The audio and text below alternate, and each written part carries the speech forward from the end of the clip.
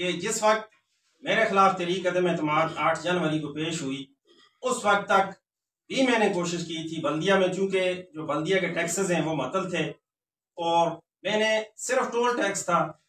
اس پہ ہی میں نے کوشش کر کے تعمیر و ترقی کا کام میں نے شروع کیا، میں نے ابتدا کی یہ سامنے جو ڈسٹرکٹ ہیڈ کوارٹر کا جو راستہ تھا وہ سیڑھیاں مرحوم میر گورمان ایڈوکیٹ صاحب کے عرصہ میں بنی تھی۔ اس کے بعد وہ اسی طرح تھی، یہ ہمارا فیس ہے۔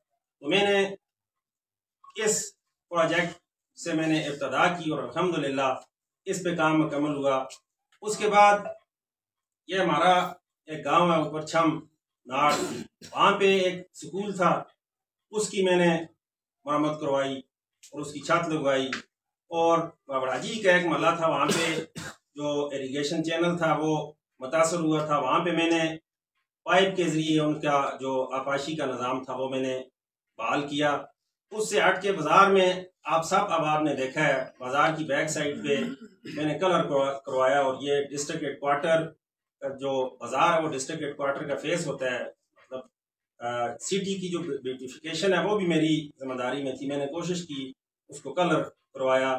اس سے ہٹ کے چک مقام کے موقع پر غلام ربانی صاحب ہمارے لیے بہت قابل احترام ہے ان کا ایک ان کے محلے میں ایک مسئلہ تھا۔ کہ نکاسی آب کا کوئی پرابلم تھا، پانی وہاں پہ کھڑا ہوتا تھا اس نکاسی آب کے لیے میں نے وہاں پہ ایک چھوٹا سا پروجیکٹ ڈیزائن کیا اور پائپ لائن وہاں پہ لگوائی۔ اس کے بعد میں نے جب دیکھا کہ گورنمنٹ سائٹ سے ہمیں فنڈز نہیں مل رہے، تو میں نے پرائیویٹ سیکٹر سے رابطہ کرنا شروع کیا۔ کیونکہ میرا بیک گراؤنڈ بھی ڈیولپمنٹ سیکٹر کا ہے، تو جتنے میرے دوست اب تھے، میں نے ان کے ساتھ رابطے کیے اور الحمدللہ میں اللہ کا بھی شکر ادا کرتا ہوں اور میں ملین سمائل فاؤنڈیشن کا بھی شکریہ ادا کروں گا۔ ملین سمائل فاؤنڈیشن کے chief executive officer Nishan Afzal صاحب اور ریجنل ڈائریکٹر راجہ دعود صاحب کا میں انتہائی شکر گزار ہوں کہ انہوں نے مجھے فنڈز فراہم کیے اور میں نے لالا اٹھ مقام شاکوٹ کے مقام پر ویٹنگ رومز ان کے تعاون سے تعمیر کیے اور اس کے بعد ایک انٹری پوائنٹ ہم نے بنایا، اس کے ساتھ ایک گارڈ کوارٹر بھی ہم نے تعمیر کیا۔ اور اس کے بعد میں نے کوشش کی، بارہ میں سیکٹری جو ہمارے لوکل گورنمنٹ کے سیکٹری صاحب تھے، اس وقت کے آج بھی وہی ہیں چھٹی پہ ہوں ان کے ساتھ وقتاً فقتاً میری میٹنگز ہوتی رہی۔ اور میں یہ نہیں کہتا کہ پورے آزاد کشمیر کے جو بلدیاتی ادارے ہیں، ان کو فنڈز ملے، اس میں میرا بہت زیادہ کردار ہے۔ لیکن الحمدللہ اس میں پانچ یا دس پرسنٹ میرا بھی رول ہے جو بلدیاتی ادارہ جات کو آزاد کشمیر میں فنڈز ٹرانسفر ہوئے۔ یہاں پہ ہمیں بیس لاکھ ملا۔ تو میں نے بغیر کسی تفریق کے دس لاکھ اس وارڈ میں خرچ کیا اور دس لاکھ میں نے بیگ صاحب کو کہا کہ آپ اپنی اسکیمیں بنا کر لائیں اور دس لاکھ انہوں نے وہاں پہ خرچ کیا۔ جو میرا ایریا تھا، میں نے چھوٹی چھوٹی اسکیمیں بنائی اور اکتیس جو پروجیکٹس تھے، وہ میں نے وہ جو ہمارا ڈیولپمنٹ فنڈ تھا جو گورنمنٹ نے ہمیں دیا، اس کے ذریعے میں نے اکتیس پروجیکٹ مکمل کیے اور ان کی فہرست میرے پاس موجود ہے۔ میں صدر پریس کلب و دیگر انتظامیہ کو وہ فہرست فراہم کروں گا اور گزارش کروں گا کہ میرے تمام پروجیکٹس پر آپ وزٹ کریں اور دیکھیں۔ میں نے اللہ کے فضل و کرم سے مطلب اپنے ایریے میں بھرپور طریقے سے اور ایمانداری اور دیانتداری کے ساتھ اپنے پروجیکٹس مکمل کروائے اور اس پہ ایک ڈاکومنٹری بھی کچھ ساتھی تھے وہ بنا رہے ہیں، جلد وہ بھی ہم آپ کو دیں گے اور آپ کو بھی میں آفر کرتا ہوں کہ آپ جائیں اور میرے پروجیکٹس کا آپ وزٹ وزٹ کریں۔ اور آخری وقت میں میرے آخری دن چل رہے تھے، میں نے محسوس کیا، یہاں پہ پانی کی کمی ہے، تو پھر میں نے ملین سمائلز فاؤنڈیشن سے رابطہ کیا۔ انہوں نے تین واٹر کولرز ہمیں فراہم کیے، ان کی تنصیب بھی ہو چکی ہے۔ اور ایز اے چیئرمین ہر بندے کا ایک پلان ہوتا ہے، اس کا مستقبل کا بھی پلان ہوتا ہے۔ ویسے تو انسان کی زندگی کا بھی پتہ نہیں ہوتا، لیکن ہر بندے کا ایک پلان ہوتا ہے۔ میرا بھی ایز اے چیئرمین مستقبل کے بھی کچھ پلانز تھے۔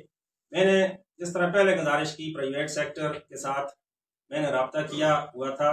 اور کراچی کی ایک کمپنی تھی سولر لائٹس بنانے والی ایک کمپنی تو میرا ان سے رابطہ ہوا۔ تو پچاس سولر لائٹس کا میں نے ان کو پروپوزل دیا، اس پروپوزل پہ اپروول ہو چکی تھی۔ اور آگے جو حالات تھے وہ اس مطلب ہمارے فیور میں نہیں تھے، تو وہ پروجیکٹ ادھورا رہ گیا۔ دوسرا، ہم نے جو بلدیہ کا یہ نیو لاری ہے، اس پہ ایک انویسٹر کو ہم نے انوائٹ کیا کہ آپ ہمیں یہاں پہ ایک پلازا تعمیر کر کے دیں۔ اس سے بلدیہ کی آمدن میں بھی اضافہ ہوگا، لوگوں کے روزگار میں بھی اضافہ ہوگا۔ اس وقت ہم نے جائنٹ وزٹ کیا دوسرے ہمارے ممبران ہیں وہ بھی ساتھ تھے۔ لیکن اس پہ بھی کام نہ ہو سکا اور وقت اور حالات آپ سب لوگوں کے سامنے تھے۔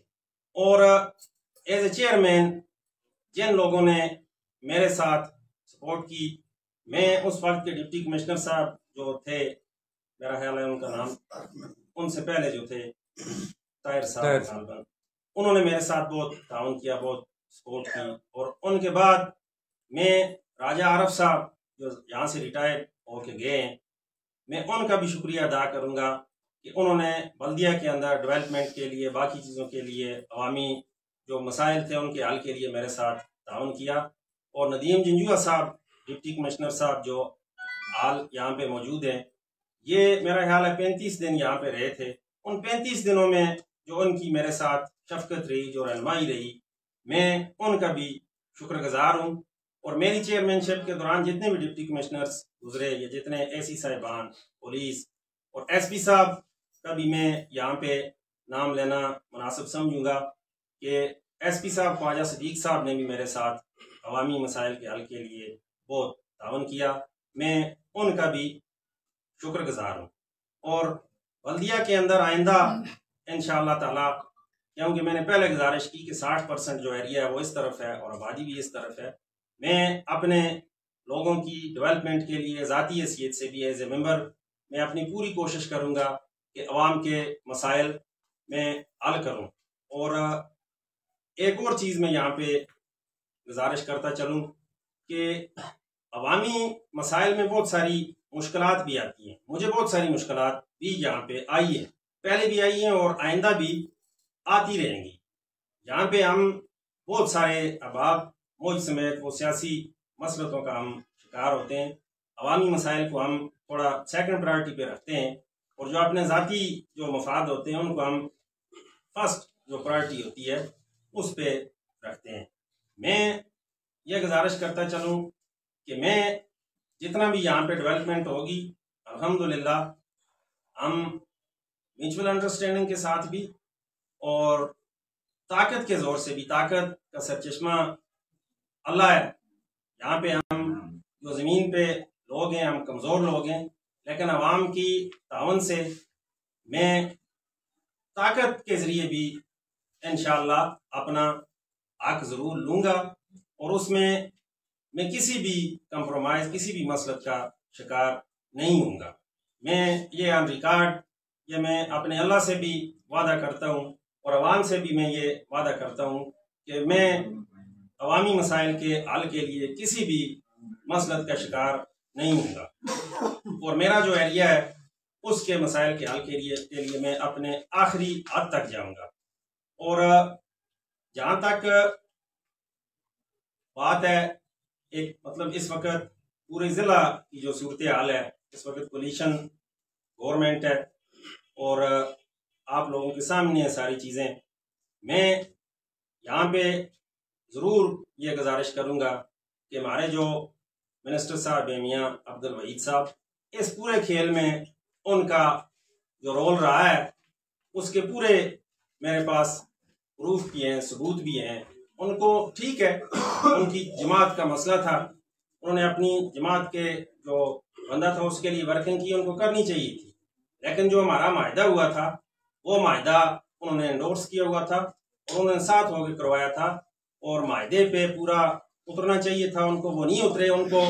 میری چیئرمین شپ سے ان کی جو وزارت تھی، اس کو خطرہ تھا۔ تو اس خطرے سے وہ آج سے آزاد ہو گئے لیکن وہ خطرہ جو ہے، وہ آپ گوا رہنا، وہ خطرہ پہلے سے ان کے لیے اب زیادہ ہوگا۔ اور میں پروف کے ساتھ، دلیل کے ساتھ، ثبوت کے ساتھ بات کروں گا۔ یہاں پہ